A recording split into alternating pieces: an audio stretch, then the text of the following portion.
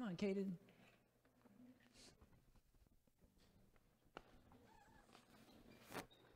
All right.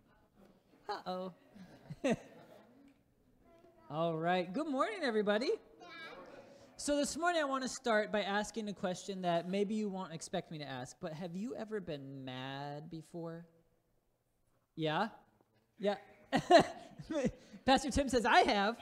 Um, well, and like, have you ever been so mad that you've had like a meltdown where like you've screamed, thrown a temper tantrum? Have you ever done that? Yeah? I have too. I have too. Pastor Tim's like, oh yeah, I have definitely done that. Yeah.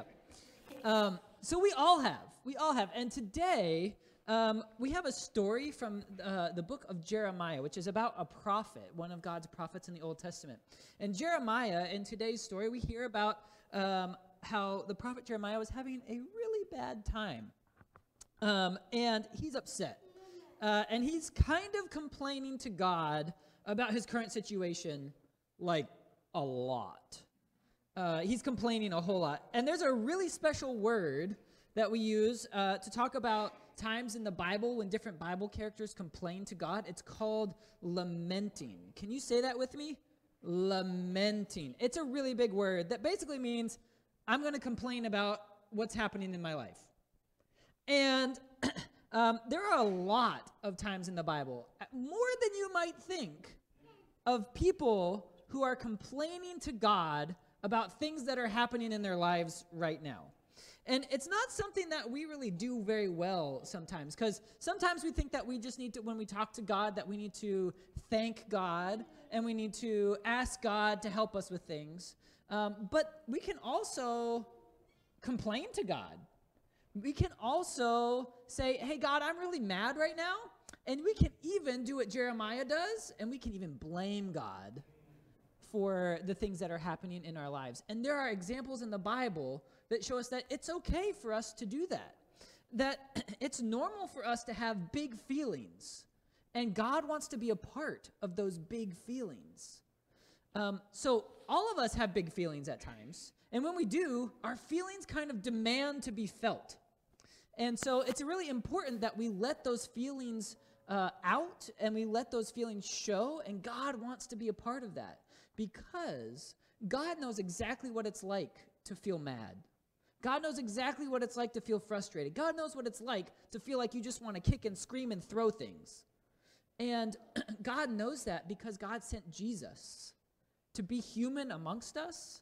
And so Jesus got to experience all the same feelings that we feel as humans.